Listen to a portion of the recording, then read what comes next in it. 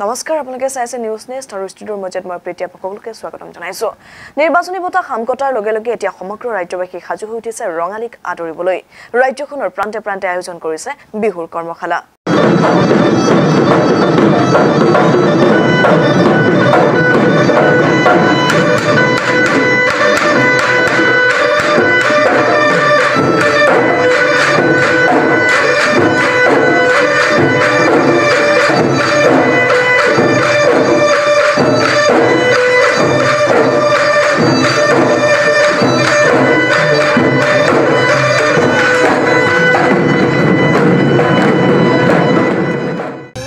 জিলাৰ সৰু পথাৰত নিৰ্বাচনী বঁটা খাম কটাৰ লগে লগে এতিয়া বিহুৰ প্ৰস্তুতিত ব্যস্ত হৈ পৰিছে অসমৰ লোকসকল।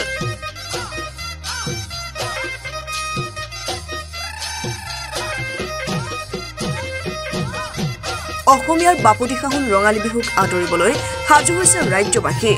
ৰাজ্যখনৰ প্ৰান্তে প্ৰান্তে আয়োজন কৰিছে বিহুৰ কৰ্মশালা। তাৰে সমান্তৰালভাৱে ধনশিৰি মহকুমাৰ বৰপথাৰ পাভজান গাঁৱৰ ৰাজহুৱা ভৱনত পোন্ধৰ দিনীয়াকৈ পাভজানৰ স্থানীয় ৰাইজৰ সহযোগত পোন প্ৰথমবাৰৰ বাবে আয়োজন কৰিছিল বিহুৰ কৰ্মশালা। পাঁচ শতাধিক ছাত্ৰ ছাত্ৰীয়ে যোগদান কৰা এই কৰ্মশালাৰ সামৰণিত উপস্থিত আছিল জনপ্ৰিয় অভিনেত্ৰী সামন্তিকা শৰ্মা।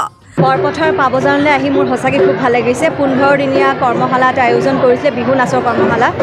আৰু মই ধন্যবাদ জ্ঞাপন কৰিব বিচাৰিছোঁ জয়ন্ত কোঁৱৰ আৰু দেৱব্ৰত বৰঠাকুৰলৈ যিহেতুকে তেওঁলোকে মোক নিমন্ত্ৰণ কৰি মাতিছে। আৰু সঁচাকৈ খুব কম সময়ৰ ভিতৰত তেওঁলোকে কণ কণ ভণ্টি ভাইটিসকলক ইমান সুন্দৰকৈ যে প্ৰশিক্ষণ দিব পাৰিছে। আৰু লগতে ইমান ভাল ভাল প্ৰশিক্ষক মাতি আনিছে গুৱাহাটীৰ পৰা। ইমানখিনি যে আয়োজন কৰিছে তাৰ কাৰণে মোৰ ফালৰ পৰা তেওঁলোকলৈ বহুত বহুত ধন্যবাদ থাকিব যিহেতু যোৱা বছৰ কৰোণা ধৰণে বিহু অনুষ্ঠান কৰিব নোৱাৰিলে। ধৰি লওক মানে উৎসাহিত বেছি পাইছে নেকি অঁ নিশ্চয় নিশ্চয়। কিয়নো এটা বছৰ মই যেতিয়াৰ পৰা জনা হৈছোঁ তেতিয়াৰ পৰা মই কেতিয়াও শুনা নাই বা দেখা নাই যে বিহু আমাৰ অসমত হোৱা নাই। অসম্ভৱ কথা এটা। গতিকে যোৱা বছৰ সেই যিটো হ'ল কৰোণাৰ কাৰণে আমাৰ অসমত বিহু উদযাপন কৰা নহ'ল। গতিকে এইবছৰ ৰাইজৰ উৎসাহটো বেছি বাঢ়ি আহিছে যে বিহু আমি এতিয়াৰ পৰাই আৰম্ভ কৰিলোৱেই। এতিয়ালৈকে মই কেইবাখনো মঞ্চলৈ গৈছোঁ। কাইলৈও আকৌ আছে। গতিকে ভাবিছোঁ যে এইবাৰ অসমত বিহু বেছিকৈ হ'ব।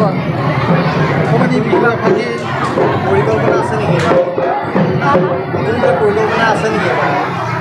পৰিকল্পনা নিশ্চয় আছে কিন্তু যেতিয়ালৈকে আগবাঢ়ি মানে কামটো সফল নহয় তেতিয়াহ'লে তাৰ আগতে ক'বলৈ অলপমান দিগদাৰ হৈ যায় গতিকে নিশ্চয় কাম কৰি যাম আৰু অসমৰ ৰাইজে মোৰ কাম দেখা পাব।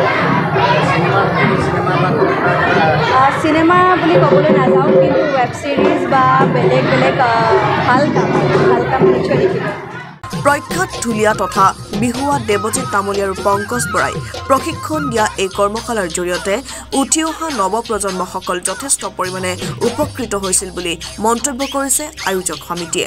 উদ্যোক্তাসকলক ধন্যবাদ জনাইছোঁ। অভিভাৱক অভিভাৱিকাসকলক ধন্যবাদ জনাইছোঁ যে তেওঁলোকৰ সতি সন্ততিহঁতক আমাৰ অসমীয়া কৃষ্টি সংস্কৃতিৰ প্ৰতি পৰিচয় কৰাই দিবলৈ লৈ আহিছে আৰু ইমান সুন্দৰ পৰিৱেশ প্ৰায় দুশৰ ওচৰ ওচৰি ছাত্ৰ ছাত্ৰী হৈছে। আৰু প্ৰথম বৰ্ষৰ বাবে পাতিছে। গতিকে প্ৰথম বৰ্ষতে তাৰমানে ইমান সাফল্যতা আচলতে খুব কমেই পোৱা যায়। আৰু সেইকাৰণে মই সকলো অভিভাৱক অভিভাৱিকাক ধন্যবাদ জনাইছোঁ। উদ্যোক্তাসকলক ধন্যবাদ জনাইছোঁ। আৰু যি আমাৰ যি সদায় বদনাম থাকে যে আমাৰ নতুন প্ৰজন্মৰ পশ্চিমীয়া কৃষ্টি সংস্কৃতিৰ প্ৰতি বেছি আগ্ৰহী আচলতে সি ইয়াত সম্পূৰ্ণ নস্যাত হৈছে বুলি মই ভাবিছোঁ। কাৰণ ইমান সঁহাৰি সকলোতে আচলতে পোৱা নাযায়। গতিকে খুবেই ভাল লাগিছে।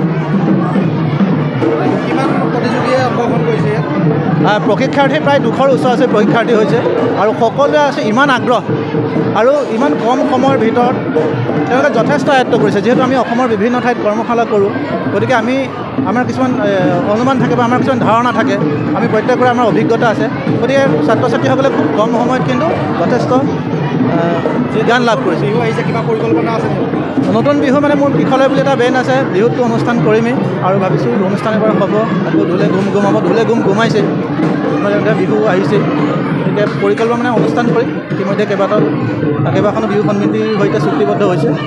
সৰু পথাৰৰ পৰা বাবুতি ফুকনৰ ৰিপৰ্ট নিউজ নেক্সট।